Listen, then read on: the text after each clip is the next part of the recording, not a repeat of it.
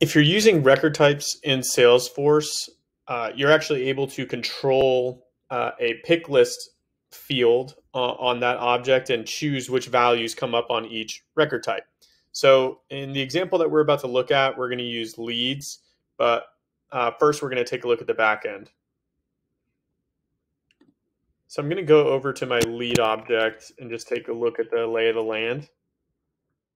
Um, so if I look at the record types, I've got a channel and direct lead.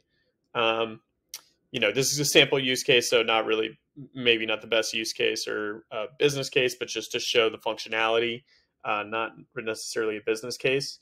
Uh, let's first jump into channel lead, and then let's look at uh, this little area down here where you can see pick lists available for editing. So if I hit this lead source, you can see that I've included web and phone, um, or I've not included these two values on the channel lead, and I've only included these values. Meaning if I create a record of that record type, these are the only values that I should see. Now, if I go to my direct lead and I look at my lead source, it's the opposite. I've included these two that I left out on the other one. All these are not available to select. So uh, this makes it a little bit easier if you're trying to um, keep like data integrity right. You another way to do this is maybe write some validation rules, but then that's quickly going to get out of hand. The best way to control kind of what you want to see available through record type is is using these settings. So if we jump back over here to our sales console, you can see that if I come down here and look at our lead source field, where are you?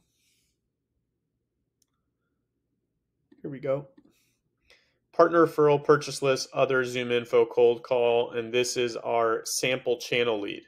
Now, if I look at our sample direct lead, I'm going to see web and phone inquiry.